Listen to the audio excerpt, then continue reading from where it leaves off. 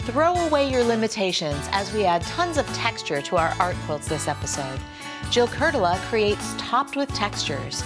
She layers and couches material on top of the photographic layer to add detail and interest, and to add or modify color or shapes that don't exist in the photo. Then, Margarita Korioth creates a cheesecloth skin to make transparent layers. All about texture today on Quilting Arts.